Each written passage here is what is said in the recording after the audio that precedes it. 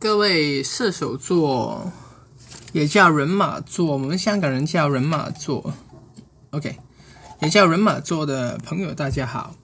嗯，那呃，伴随着这一个在双子座的那个满月呢，直到农历的十一月尾的时候，就是我下一次出那个幸运的这一段日子里面呢。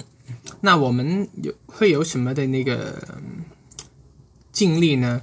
其实就是说呢，我们不敢离开我们的那个 comfort zone，就是我们的舒适圈，我们的那个安全网，就是我们感到呃很安全的那个地方。我们不敢，我们不敢于去尝试一些新的东西，我们很害怕。我们想就是做我们喜欢、我们很熟悉的东西，我们不想。就是解出新的东西。对了，那这个是塔呃塔塔罗讲的。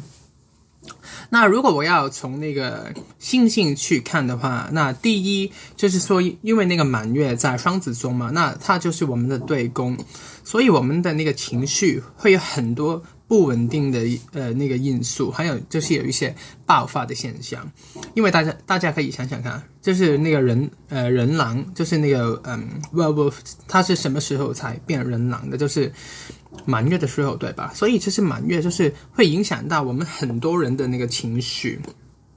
那第二个现象就是说呢，我们的那个守护星那个主星木星呢，它从那个入庙很强的能量。忽然之间，呃，去了那个摩羯座，就是我们香呃香港人，我们也叫山羊座，是不是很暗？OK，我坐远一点。OK，他所以他现现在变得很虚弱。那同时在这个嗯满月的时候呢，他在摩羯座的二度，所以是一个我们叫我们叫一个初角度，是一个嗯未知的领领。领活，这是一个我们不懂的、我们不熟悉的那个地方，所以我们会会感到很害怕。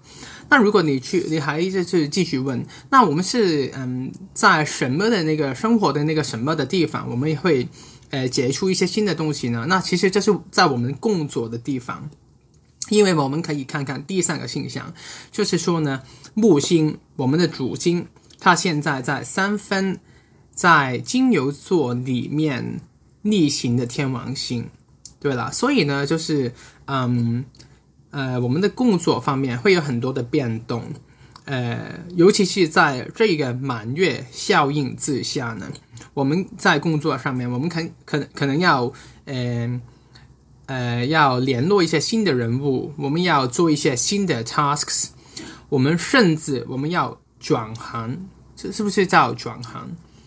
我们香港有人我们叫转行，就是我们要转变我们的行业。比如说，你你以前是是做老师的，那现在你忽忽然之间你要做呃司机，对，所以这是一个很大的一些呃破旧立新的那个现象。那所以大家要嗯注意一下，还有心理上心理上面要有一个调整。那呃，不然的话，你会觉得好害怕，好害怕。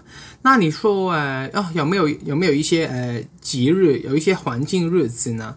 那其实我就见不到。所以呢，既然我们没有一些外在的那个帮助，我们最大的嗯贵人就是我们自己。所以我们真的要呃，先做一些心理方面的那个调整。